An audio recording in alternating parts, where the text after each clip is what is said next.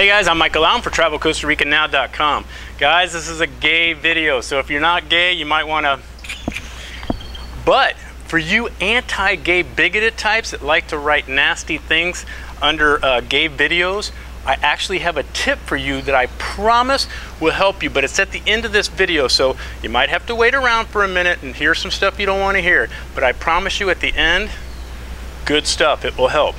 Now, this is an update. We've done this video before uh, a few years ago about living gay in Costa Rica and traveling here as a gay person in Costa Rica. This is kind of an update. If you missed those videos, uh, this is kind of some of the same information, some different.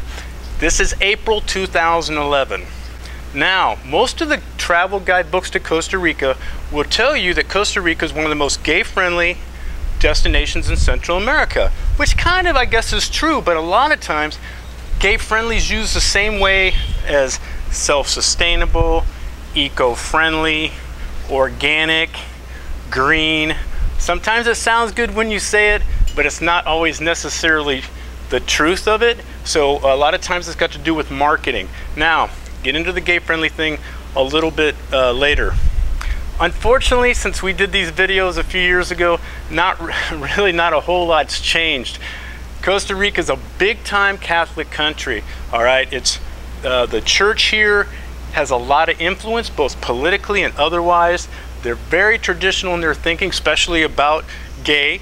So that's kind of the belief system here. So gay people should read that as this is a don't ask, don't tell, don't act country.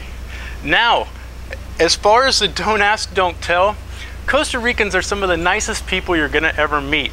They're not confrontational, uh, and they don't really care that you're gay technically because silently they're thinking, wow, they're living in sin and they're going to hell, but we'll let God handle that. The problem is the don't act part because now if you do something gay outside in public, now you're forcing gay. You're forcing gay down their throat and, and not in a good way. So that's kind of the belief system here, how, how people are thinking.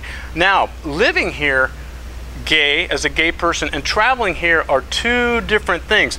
Living here, okay, anywhere outside of San Jose and some of the more eclectically populated beach towns like Manuel Antonio, where there's a little bit more progressive thinking, um, it's tough here. Yes, they have their gay protests from time to time. Yes, they have their pride parade. Yes, they have progressive thinkers that are trying to keep the Catholic Church at bay, or maybe they're trying to pass, help pass some pro-gay legislation. But technically, the gay thing isn't that vocal here. Tradition rules, and the fact is, most gay Costa Rican gays are still in the closet because they don't want to upset grandma. So now me, La Fortuna, is supposed to, I guess, gay friendly, I'm not sure.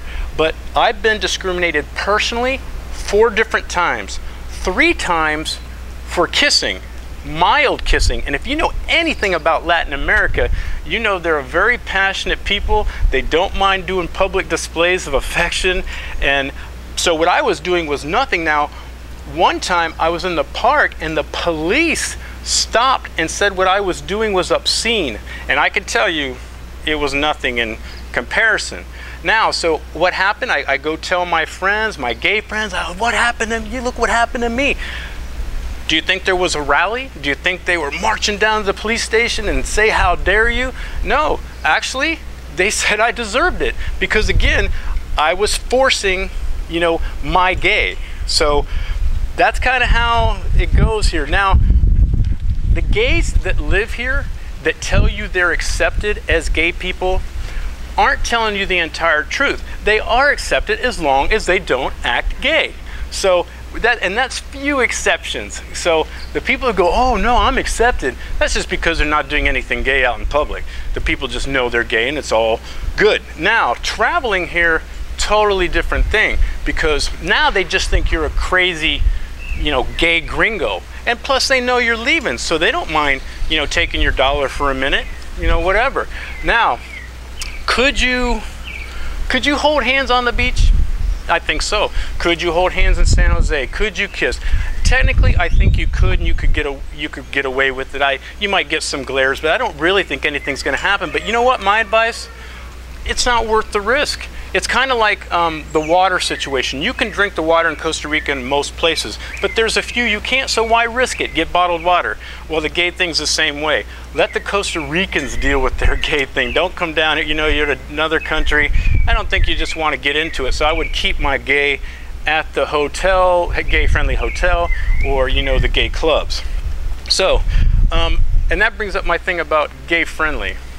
Now, if a website doesn't have any, they, they say they're gay friendly, but there's nothing on the website that would show you that, that just means they're trying not to alienate straight people. So if they don't have a rainbow or a flag or something to say it, then then they're obviously they're not that gay friendly. And if you're still kind of in doubt, call them, email them, and say, "Hey, would I be allowed to kiss in the pool?"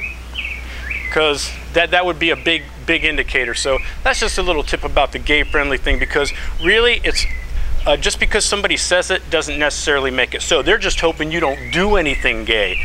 They don't mind. It's the same whole. It's the same situation I've been saying.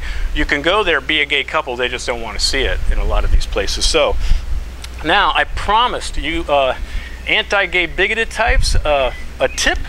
Here it is.